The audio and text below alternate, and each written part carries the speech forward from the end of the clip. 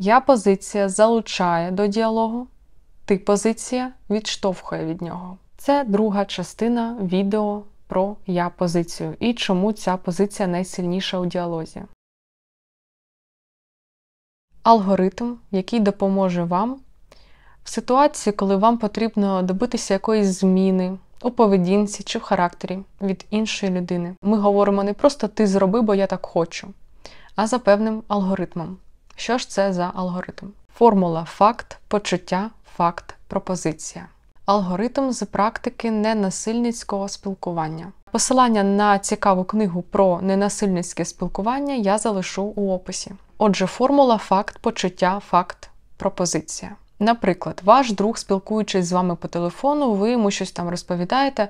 Спілкуючись з вами, він відволікається на щось, і ви чуєте якісь звуки, якийсь шум, і загалом відчуваєте себе трохи ніяково. Поганий, неправильний приклад зауваження. Слухай, ти там щось робиш, я тобі взагалі не заважаю, ти мене не слухаєш. Тут відсутні факти і опис почуттів, а присутні лише скарги та звинувачення. Як можна сказати інакше, використовуючи алгоритм? Слухай, я чую, що ти з кимось говориш чи зайнятий. Це факт.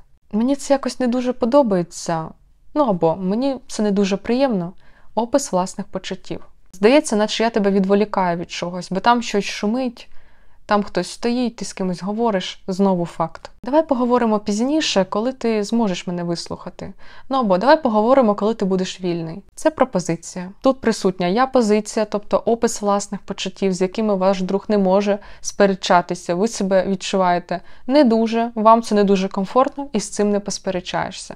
Тут нема звинувачень, тут є лише факти, що ваш друг з кимось говорить, там щось шумить ви чуєте якісь звуки, а ви хочете обговорити тему, яка вам дуже важлива зараз. Тому ви пропонуєте своєму другові інакшу можливість відкласти дзвінок. Таким чином, ви не звинувачуєте людину, але ви їй явно демонструєте, що вам не подобається ця поведінка, тому що змушує вас.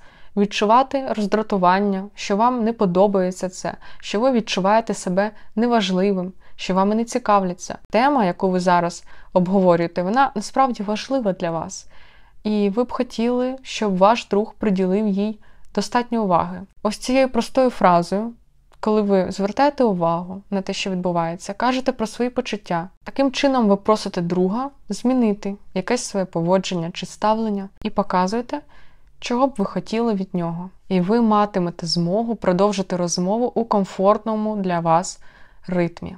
У відповіді до цього відео ви зможете написати будь-яку ситуацію, яка вам спадає на думку. Залишити коментар, і було б дуже цікаво, якби ви навели свої приклади. Які такі ситуації траплялися у вашому житті? Що ви робили? Чи, можливо, якісь яскраві інші приклади з життя, ваших розмов і так далі? Можливо, вам щось було незрозуміло. А я підсумую. Отже, формула, за якою ви говорите з іншою людиною, коли хочете від неї якоїсь зміни у поведінці. Факт. Ви називаєте факт, поведінки іншої людини, що вона робить, на вашу думку, не так, або взагалі будь-який факт з розмови, свої почуття щодо теми, або щодо її поведінки, як ви відчуваєте себе. Далі знову факт. Я відчуваю себе так, тому що і повторюєте, чому ви себе відчуваєте так. Тому що ти говориш те, тому що ти кажеш те, робиш те і так далі. Або тому, що ця ситуація загалом така. Найголовніше те, як ви подасте свою пропозицію або прохання. А вже від людини залежить, як вона на неї відреагує.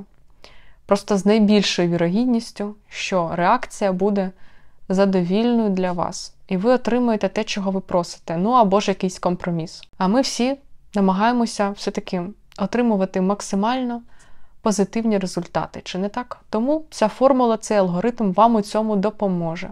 Ось і все.